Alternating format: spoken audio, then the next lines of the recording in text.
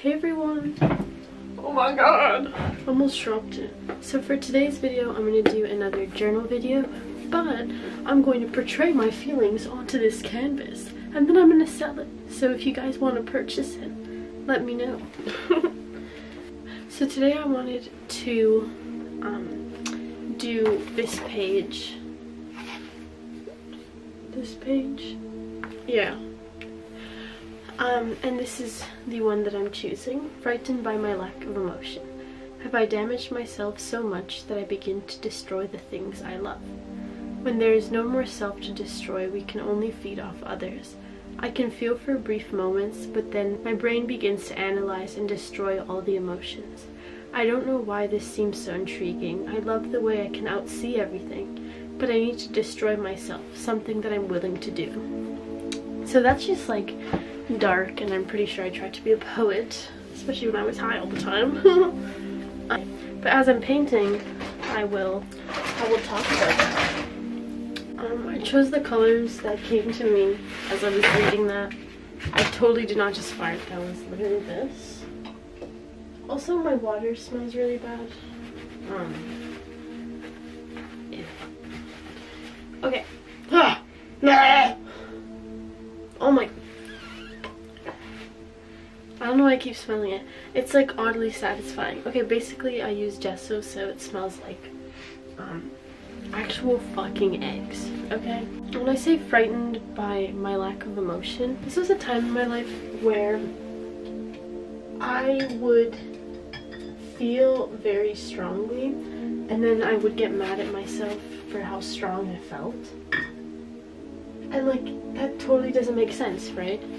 And like a lot of the times when when you start to lack emotions, people label you as like a sociopath or just somebody that is just not selfless and does not care about other people. And it made me think that I was like a crazy person. Oh, Jesus. Because like that's what society tells you when you start to like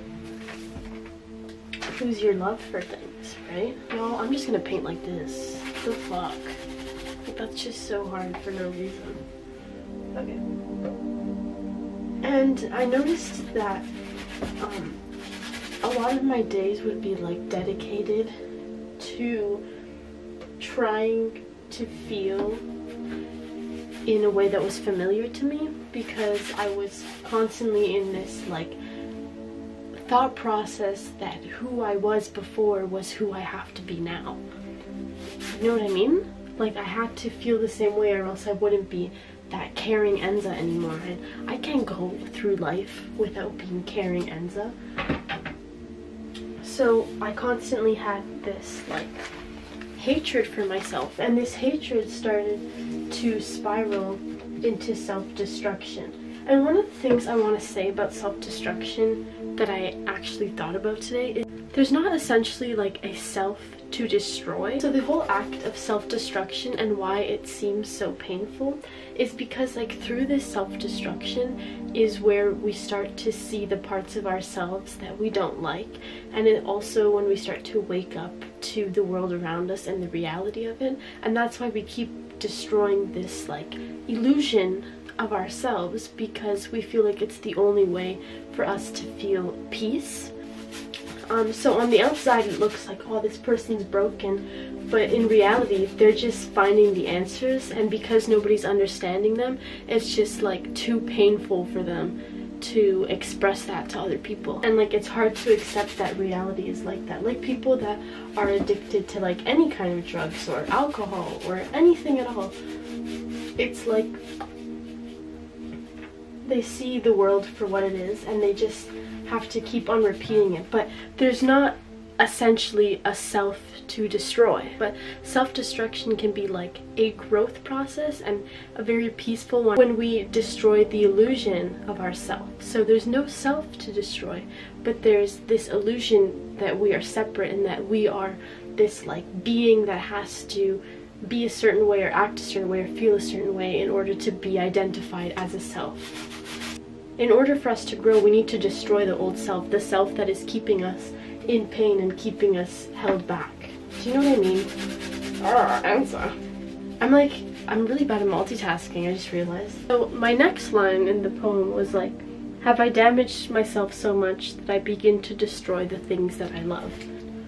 And like when you're in this situation of feeling like you are not yourself anymore or that you cannot be the person that you once were to the point that you unintentionally bring that vibration to the people around you and you're not trying to hurt them. You're not trying to hurt them. That wasn't the whole point of the situation. The thing is that it's happening because you are it's not that you're vibrating on that level but it's just that you have felt how much pain that it brings and the only way other people would understand you is if like they were in that situation.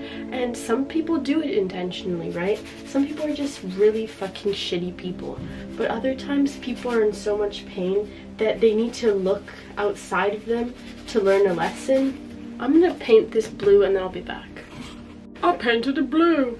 Okay um so in the next part I said I could feel for brief moments but then my brain begins to analyze and destroy all the emotions and like I find that there's a difference between being aware of yourself and accepting yourself.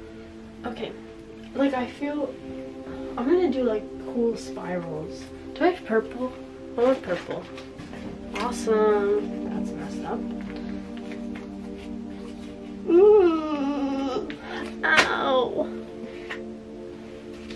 I think I'm just gonna drop it on and then spiral it out. Spiral into the void.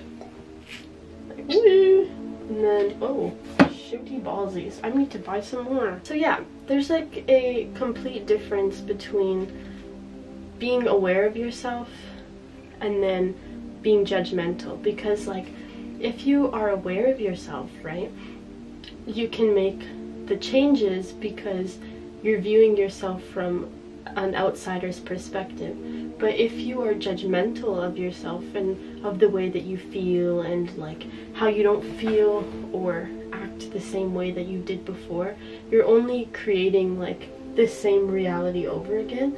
And it can be like very damaging to the spirit because I it's not it's kind of like an ego trip in a way, but once it starts interfering with your soul and like your purpose because you're becoming just like way too judgmental of yourself, it can get like very scary. And I feel like that's the place that I was in was like okay I'm a fucking shitty ass person and I need to change. But I'm not gonna change if I'm gonna continue to be a shitty person. So I try not to be shitty to everyone else. You know it's about like not judging the way that you feel. Like I was Ooh, I'm gonna do it that way. I was constantly judging myself. Oh my gosh, this is amazing. Sorry, look. It's like faces and I'm digging it so hard. I gotta just fix that one. Boom. Give him an eyeball. He's got some hair now.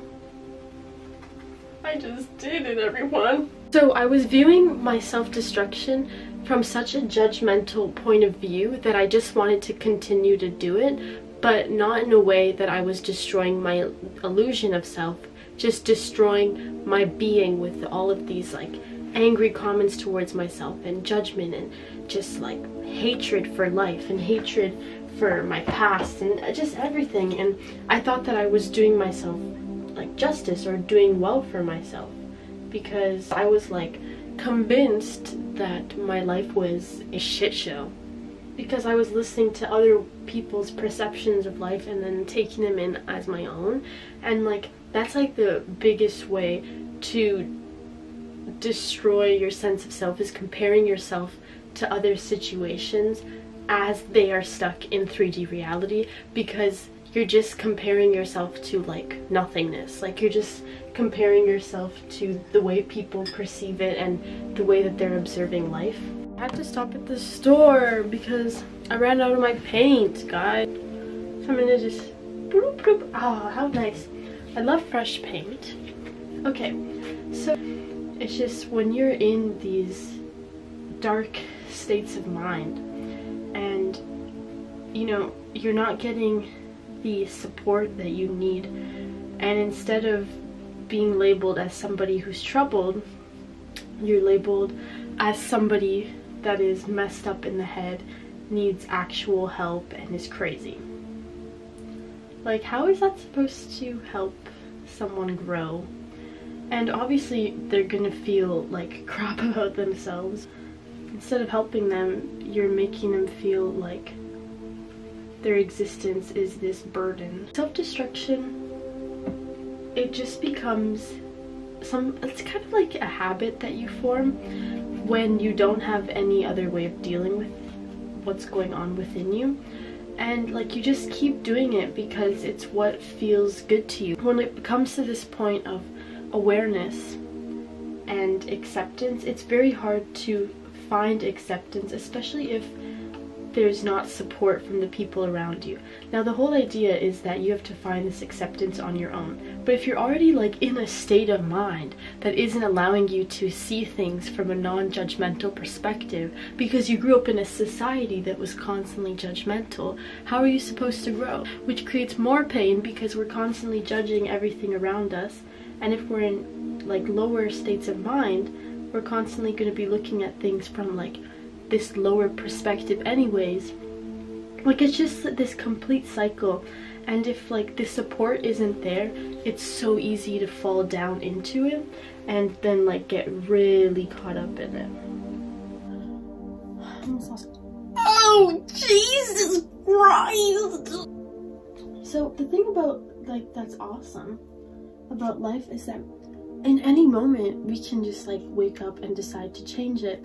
And that's how like we can grow in destroying the story that we tell ourselves like of like what our past was and what happened and who other people told us that we are because you know we're like scared to become something else in fear of rejection from other people or in fear of losing people along the way. Look, it made like a portal. Isn't that freaking dope? Like this is all the water surrounding it. Well guys, I'm basically done my piece and get out of that illusion that you have a self and get into the fact that you don't need to identify your being with anything. With that being said, here is the final souls just making their way in through darkness and light. They become one and meet in the middle. So that's the end of this video. I signed it. If you guys, if anybody wants to buy it, let me know. I hope you guys liked this video. Let me know down below if you guys have had similar experiences or there's things that you guys want to hear more videos about. I just thought that journal video is always fun and with a cute lesson with it, you know. Um, subscribe to this channel if you'd like, and also uh, if you want to check out more of my other creative videos, you can subscribe to my other channel, which I'll link down below. And yeah, so hope you guys enjoy. Peace out.